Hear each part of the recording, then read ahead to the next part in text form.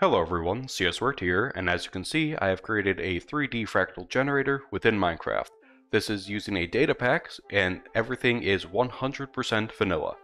Now, I'll give a world download and explain the code near the end of the video, but for now, I'll explain what a fractal is. So, a fractal is a 3 is a shape that repeats itself over and over. In this case, this is the Menger sponge, and we have a cube with the side hollowed out and I take this base shape and it gets multiple and it gets repeated over itself. So here's that same shape, that 3 by 3 by 3, and it gets repeated into that same 3 by 3 by 3. And this is only a size 1. Now we can actually go up a size, and that's based off the number of items in my hotbar here. And so we go from size 1 to size 2.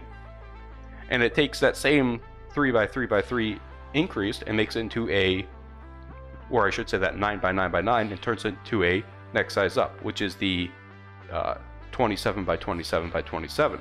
And we can even go even bigger and make the, I think, 81 by 81 by 81. And all of this is completely vanilla. While this does look nice and okay, a level 3 is not as big as we can go because right now the limit is based off of the structure block here. So if I set this to something like 50, we see that that goes back to 48. That's because the limit for the base game is 48. However, if we use a mod such as Carpet, we can actually increase the structure block limit to anything like 256. So, uh, Mojang please fix, but now we can actually generate a level 4. Oh. And that will be the limiting size for the base game unless you increase the world height because obviously the world height is 384 and you can't go any bigger if uh, a level 4 barely fits as it will now. It's going to lag up my computer a bit so I'll be back when it's done. Okay, so it looks like it's finished generating and this thing is absolutely massive. Having a level 4 Menger sponge is pretty big. Now Mojang did generate one of these within their 2022 April Fool snapshot with the books and everything, but this is something that you can generate on your own. And it's not made out of the ugly sponge block, it's made out of a nice clean white concrete. Now, um, yeah, the way I have this uh, data pack work is the first thing is we clear this area, so something that I needed to wait for was the um, command that they recently added, which is the max uh, command modification block limit. And I set that to 10 million just so that we could clear out this whole area. Okay, and now I'm going to go ahead and just generate a few other things and explain them. Now, we don't have to generate a uh, three-dimensional shape here. We can even generate a uh, one-dimensional or two-dimensional shape. So if I set this to only uh, one, we see that it's a 3 by 3 by 1 here. And I'll even make it like, I don't know, an X shape. And while I'm doing that, I'll even show um, that if you want to have an area filled, it's not going to do that because it's copying this shape.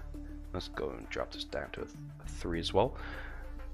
Uh, it's because it's copying this shape, you're not going to get all the ones in this area on the final size to be concrete and all the ones in the middle to be glass, it's going to just copy this shape over. Give it a second. There we go. And so we see here that each of the base shapes gets copied over. If you want to have the whole area filled, I, I would suggest just running a fill command once the fractal has finished generating. But yeah, here we go. A 3 by 3 of X's scaled up three times.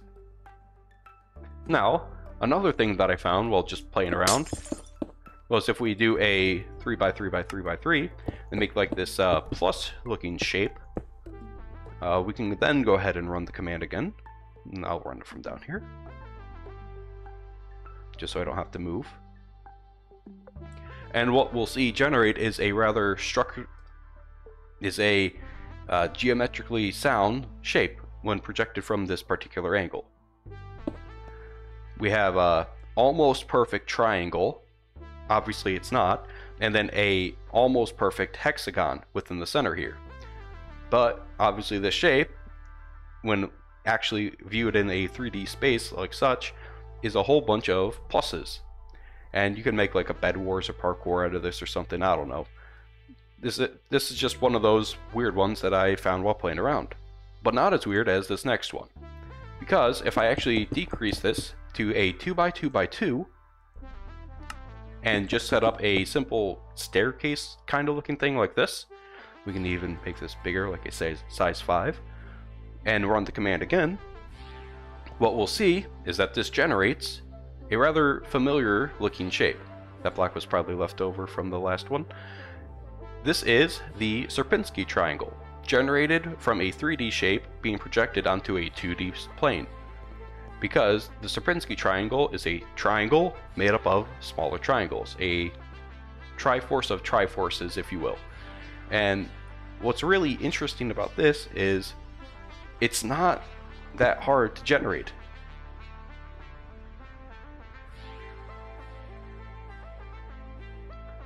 It's uh one of it's just one of those things that it's so simple to make, but you wouldn't know it until you actually go through and generate something like this.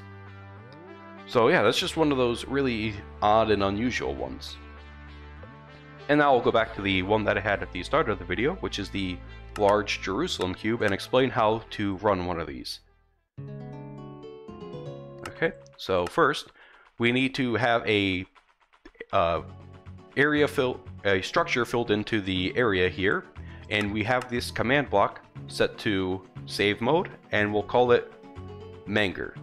And of course, we have we already have the size determined, and make sure entities is off, otherwise you will probably crash your computer, or at least the game. So then, this uh, 5x5x5 can only be do, done twice, otherwise we will be here forever.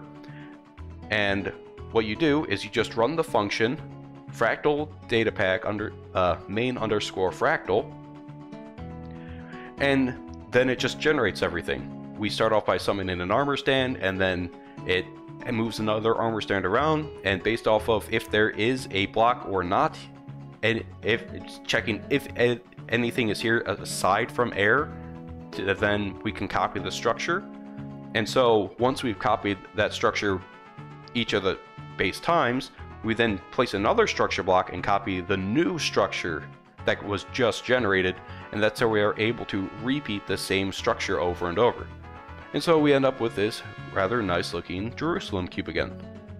I'm not the one who came up with the names, that's just what it's called. So now I'll go into explaining the code for anyone interested.